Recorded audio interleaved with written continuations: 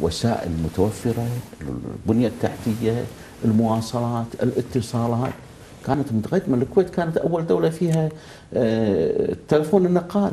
في العالم الأوروبي ما كان فيه. اللي كانت مثلا ألمانيا اللي كانت أول حضرتك دولة تتكلم على حضارة الكويت.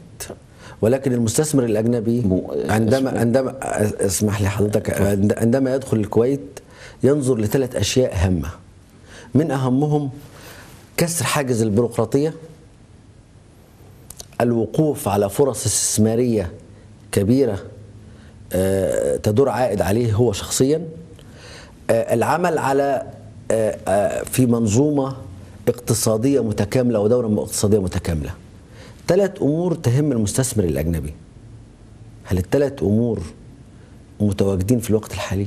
وأنا جاي بذكرهم لك. هذه البنية التحتية اللي ذكرت لك. مثلا خلينا خلنا قيد الحين ما دام استعجلت وسمونا يجيك على سام مثلا آه، أي مو أي مشروع تقدر تسوي في في وسط أفريقيا؟ ما في اتصالات ما في بنية تحتية ما في مواصلات ما في موانئ. صعوبة. صح. هني أنا جيت ببين لك إن أول شيء مهم موجود في الكويت متوفر. زين الاتصالات مع جميع أنحاء العالم.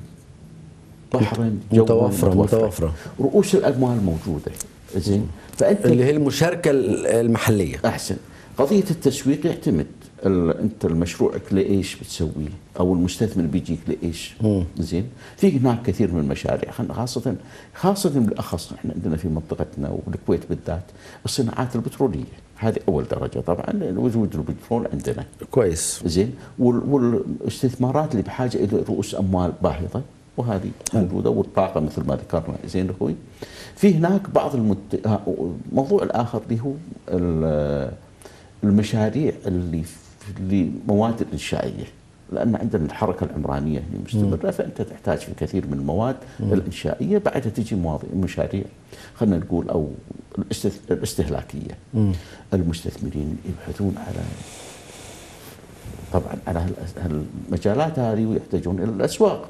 والكويت فترة من الفترات كانت ممكن تكون هي الرائدة بحيث أن تكون هي مصدر التصدير لدول بقية دول المنطقة. صح. كثير من من صناعات كثير من أنشطة انتقلت من الكويت إلى بقية مع إن إحنا نهنيهم. وتأخرنا. ليس- وتأخرنا طبعا. نهني بقية إخواننا في دول الخليج وعسى الله يوفقهم وعسى الله يهنيهم ويبارك لهم.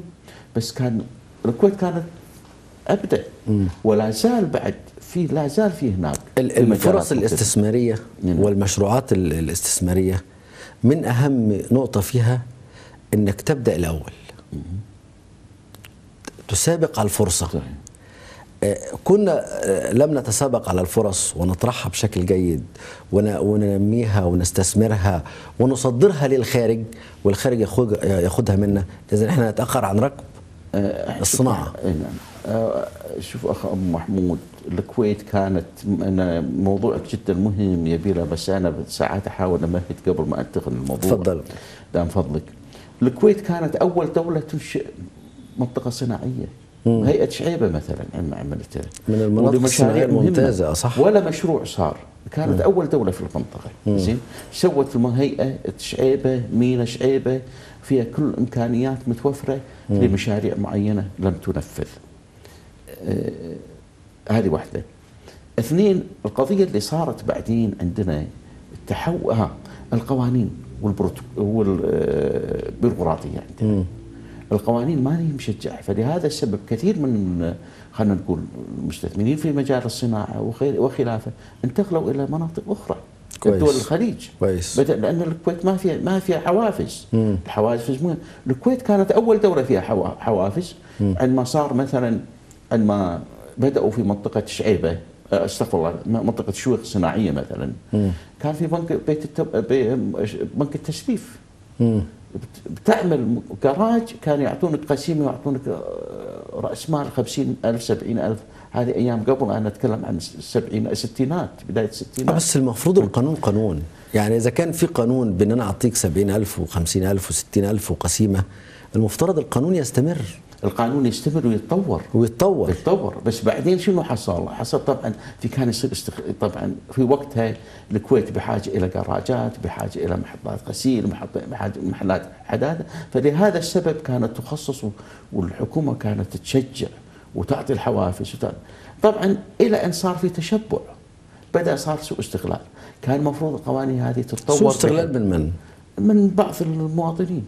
ياخذ القسيمة ياخذ الفلوس ما ينفذ يروح يبيع القسيمة مثلا. زين؟ يعني في إحنا مو لهذا السبب آه، الحكومة قامت في كثير أشياء. زين. المهم طبعا لها إنجازاتها ما حدش ينكر يعني. نعم، طبعا. الحديث عن قسائم الصناعية وقسائم الشويخ هذه يبي لها حديث طويل ما راح نتطرق له كثير. بس نرجع على بعدين على قضية الاستثمار. المنطقة في لا حنجي لها. حنجي لها. في عندك أنت اللي حصل عندنا إحنا حقيقة مع الطفره زين المادية وأسعار النفط وأسلوب الحكومة في طريقة حقيقة آه، خلينا نسميها توزيع الثروة زين. خاصه بالكويت الحكومة ما كانت تقصر كثير الحقيقة في قضية توزيع الثروة. فالطفرة هذه كانت كثيرين كانت ناس منصفة في توزيع الثروه كانت كثير منصفة الحقيقة آه، يعني أسلوب مثالي. بالضبط. مع العلم عدم وجود خبرة سابقة. وأعتقد. إنه الدول الباقيه مشيت على نفس النهج يعني. إلى حد ما. بس. بعد تعتبر الكويت الحقيقة رائدة في هذا المجال. زين. آه، فانتقل الاستثمار إلى وسائل الاستثمار السهلة السريعة. صاحبة الكسب السريع. سريع أحسن. بالإضافة إلى انفتاح الكويتيين على الخارج و- وإيجاد الفرص في الخارج. زين؟ انتقلوا إلى كثيرين انتقلوا إلى استثمارات في الخارج. آه، أحيانا يقال ان انتقلوا ولا هربوا؟ لا ما, ما أعتقد هربوا.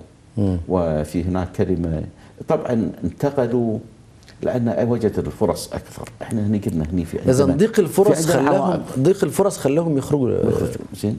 هني في أحيانا يقال في مثل آخر بعد حضرتك مثلا ذكرت الهروب يقال إن راس المال جبان. زين. هذه يمكن جاء كلمة هذه قالها أدم سميث في يوم من الأيام في ظروف معينة. أختلف مع هاي وجهة النظر. زين. رأس المال مو مو جبان. بالعكس رأس المال يروح ينتقل إلى أي مكان مصلحته أكثر. بس عندما قالها قالها لتعزيز موقفه هو وعدم طلع وعدم إعطاء الناس الفلوس يعني. يعني يعني كان يقصد بها كان يقصد بها مداعبة البشر يعني. فرأس المال مش جبان رأس المال سواء الكويتي مثلا خلينا نتكلم إحنا نتكلم عن الكويت انتقل برا وجد فرص أكثر. هل غير جنسيته؟ هل رأس مال يغير جنسيته؟ لا، لا. طبعا، لا، لا، لا. زين. بالتالي يروح برا بس في صعوبة في العودة. لا يرجع بالعودة. لأنه عندما يستقر في الخارج يبني مشروعات ويبني نعم. مؤسسات مالية. والعودة العودة هنا آه، تحتاج تحفيز للعودة. شوفوا أخوي العودة ما فيها صعوبة. يجيب لك المثال مثلا بعد سبتمبر 11 سبتمبر آه. أمريكا. كثير من الاموال العربية بالضبط. زين داخل بس هني النقطة اللي يؤخذ على خروج راس المال إلى برا انه ساهم في عملية التنمية مناطق أخرى حلو. بدل ما تكون عملية تنمية يساهم في العملية التنموية في بلده حلو. هني هذه النقطة اللي يؤخذ كويس، عليه كويس. ليست هروب كويس. بالعكس هو استفادة هناك بالتالي المردود لك يكون يعني ما يملكه أي مواطن أو فعاليه اقتصادية بالتو بالتالي هذا جزء من آه، الاقتصاد القومي. صح. ما تعتبر تقدر إنه. يخصه شخصيا ابدا. لأنه هو هو القطاع الخاص النهارده ما هو القطاع الخاص يقول لك إحنا عايزين الحكومة تضخ. والحكومة تقول لك عايزين القطاع الخاص يتعاون. رأيك كيف في في في في في, الشد والجذب في لا النقطة؟ إحنا الآن في في وضع شاذ يختلف في الأزمة الحالية الموجودة الأزمة الاقتصادية والأزمة اللي مستنا. إحنا في وضع خاص. وضع الخاص هني إن القطاع الخاص ما هو متمكن ماليا مثل ما كان سابقا. بالضبط. الآن هو في أزمة. هني إلى أن البنوك تفتح تسهل قضية التمويل. يكون القطاع الخاص ممكن لكيفية الصرف أو لزيادة الصرف على المشروعات. أحسنت. فهني الحقيقة في دورج على الحكومة أن تقعد تنفذ الخطط التنموية لتاسيس البنية الأساسية. زين. البنية الأساسية تجي في كثير. طبعا إلى درجة بناء مدن. إحنا الآن في الكويت مثلا المدينة الكويت في الخمسينات والستينات هل كانت المدن هذه الآن قائمة؟